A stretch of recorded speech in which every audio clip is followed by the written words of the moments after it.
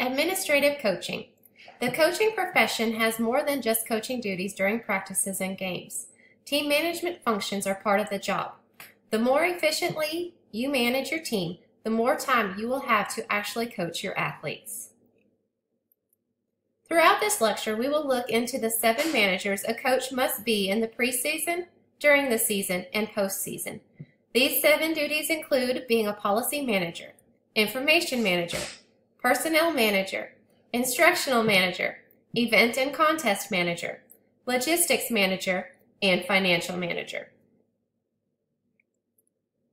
Most teams, especially in the competitive school divisions, have team policies that address a variety of topics such as class attendance and grades, missing practices, dress codes, team behavior, and cost to play. In the preseason, as the policy manager, it is up to you to develop and update all team policies. You will also need to review your governing organization's policies, for example, the NCAA or NAIA. Lastly, you will need to determine how you will distribute your policies. In season, you will need to present those policies to your team. One way is to prepare a team handbook and to provide your athletes with essential information in written form that they can use as a reference if need be.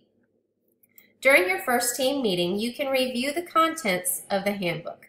This will ensure that all members of the team know what is expected of them.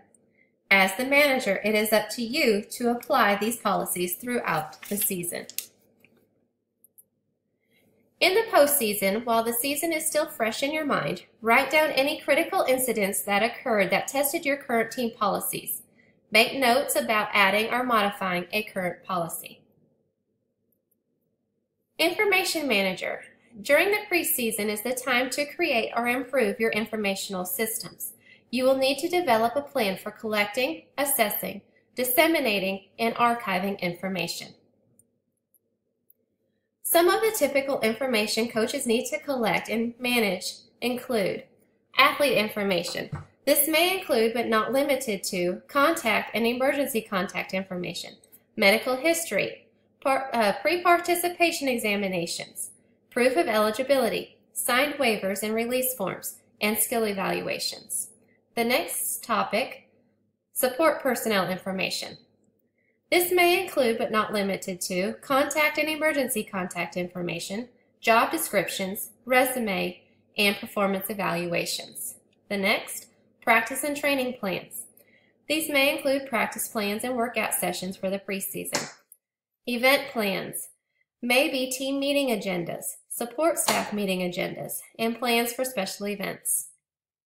Reference library may contain rule books, technical and tactical skill ideas, physical conditioning, and nutrition articles. Recognition and awards might include press releases and records of athletes' awards. Personal. This is for the coach. It may include personal resume, win-loss records, recognitions and awards, and job contacts. Logistics records may involve equipment records, supply records, and transportation records. Financial records should include income sources, expense sources, receipts, and forms for purchasing or reimbursement.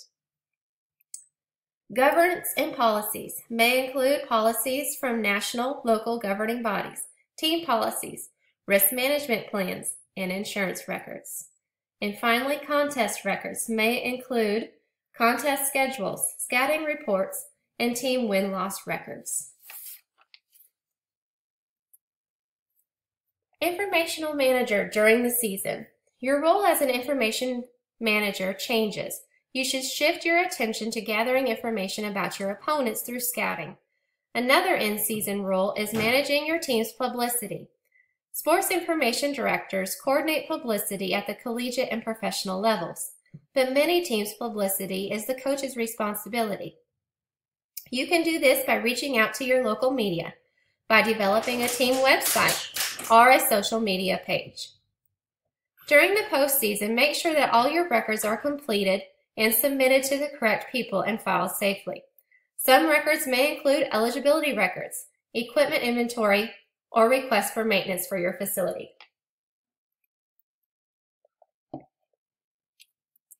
Personnel Manager. This area of management is vital to the success of your team. In the preseason, you have many personnel managerial duties. They include making decisions on what support staff you need and want, recruit and select your athletes, develop the tools you will use to evaluate your athletes, develop a system for communicating with your athletes. Remind is a very popular program used to remind people of important dates and times of contests and meetings. Next, determine the eligibility of your athletes. Appoint captains. These people should act as a liaison between the coach and the team and should also serve as role models for your program. Finally, make the decision on how your athletes will be awarded. Will you have a reward system at all? If so, what things will athletes be awarded for? During the season, you must ensure that you have effective communication with your entire team. This includes your athletes, your assistant coaches, the managers, and also the team trainer. Monitor your staff's work, recognize good work and praise them, and help them when they need it. Revisit your legal duties if needed. Maintain your organization. Don't let your paperwork pile up. Motivate your team. This is especially important when your season is not going as planned. In the postseason, have a team meeting to review the season. Allow your athletes to evaluate the program in order to grow and improve the program. Determine when and how athletes will return equipment and uniforms. Plan your awards dinner or banquet. Finally, help graduating seniors advance, either through obtaining scholarships for college, possibly talking to agents, or helping them seek employment. Instructional Manager during the preseason, the instructional manager should develop a solid instructional plan. That includes setting goals for the season, determining how you will organize the material for instructions. How will you build on the fundamentals, or what will you teach to reach these goals? During the season, you will need to develop or modify your, your practice plans based on the progress of your athletes and also the input from your coaching staff. Following the season, as the instructional manager, you should review your instructional plan and evaluate the effectiveness of the plan. You should also evaluate your staff and yourself on how well you executed the plan. Therefore, you can make changes for the next season. As the event and contest manager, prior to the season, you need to set your schedule. Determine the contest or events you want to host and attend. Schedule these events or get in touch with the personnel that handles the responsibility. For example, at a small high school, you may have to go through the athletic director to host an event, so there is not a scheduling conflict. During the season, your responsibilities consist of managing your contest on your schedule. You must be prepared, however, for special circumstances that might disrupt your plans, like inclement weather.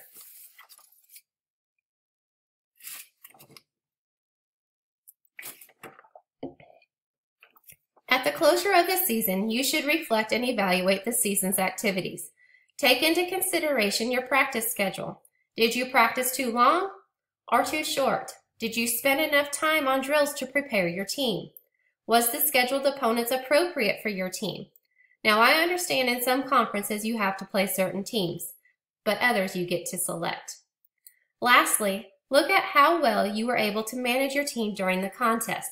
Did you call the right plays? Or make use of your timeouts appropriately.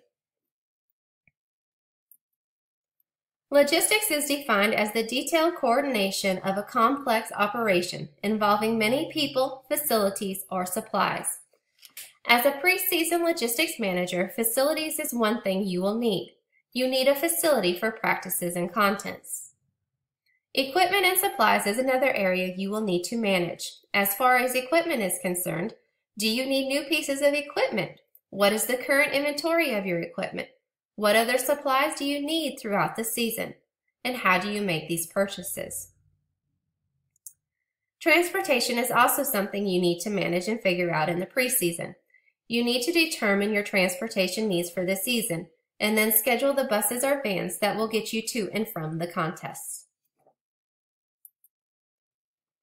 The logistics you need to be concerned about during the season include inspecting and maintaining equipment.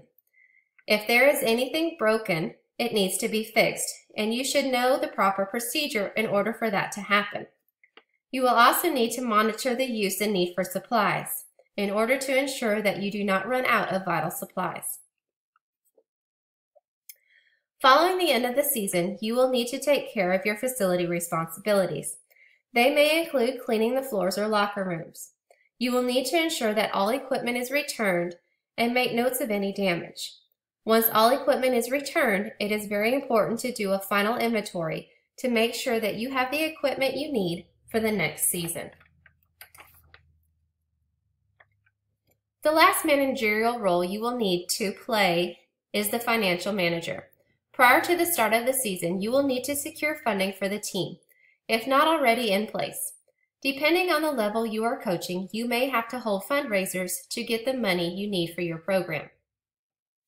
After you secure funding, you will need to set a budget for the season. If you need to make purchases at any time throughout the season, it is best to learn the process before the season begins. Also, as the financial manager, you need to know who is responsible for holding the money and who on your staff can spend it. During the season, you must watch and stay within the budget you set within the preseason. Be sure to keep all records of purchases to justify where the funds went and be reimbursed if necessary. In the postseason, you will need to collect all outstanding funds. Be sure to update all financial records and receipts. Make sure you submit the necessary paperwork to the proper administrators to ensure that proper procedure is followed. Also, following the season is a good time to start thinking about, about um, what you may need for the next season and how much money you will need in order to make those purchases. Coaching is a profession where you must do more than just teach the X's and O's. There are duties that need to be taken care of throughout the entire year. Like I said earlier, the more efficiently you manage your team in these seven duties, the more time you will have to actually coach your team. Now, to make sure that members of this class are actually watching these lectures that I spend time on, you have a chance to earn some extra credit. Email me your favorite color and I will give you up to a half a point back on your lowest forum grade. My email address is krm at reinhardt.edu.